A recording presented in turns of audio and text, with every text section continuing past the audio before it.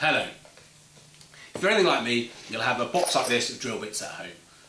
You'll be scrapping it around for your, for your most common sizes, your 3 mils, your 6 mils, your 8 mils, but you'll never find the right one. As soon as they're out of the set, we chuck them like this. Forget about those. We've now got the multi-twist drill hex shank set from Fisch. I can't remember what I was going to say. Hold on, I'll start again. Oh yeah. Uh, if you anything, anything, ah, blah, blah. Shall, shall I start again? Yeah. Bits even. That's it. I've again. Oh no, but I've done that again. Such a. This is going to take forever, isn't it? It's just So the outtakes. full of extras. Hello. I can't remember what I was going to say then. I've up as well, haven't I? I? I can't. I can't read and talk at the same time. It's talking aloud, isn't it? Yes, you need to be a woman and you can multitask. Oh, f- yeah, it's bugger. Oh god, I can't talk. It's really bad, isn't it? These hex shank drill bits from Fisch are.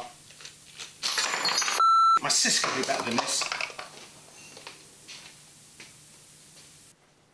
Hi, I'm Gloria. I'm here to tell you about these Fisch hex shank drill bits. Now, these give you more control and less chance of slipping in the chuck. And more importantly, these are actually split point, multifaceted drill bits, which means you have increased performance and an excellent centering capabilities.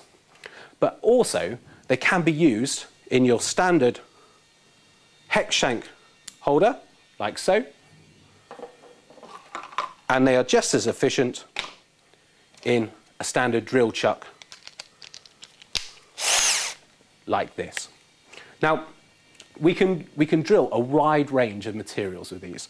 We can go from brass, plastic, aluminium, a wide range of steels, and of course, what we're drilling today, cast iron.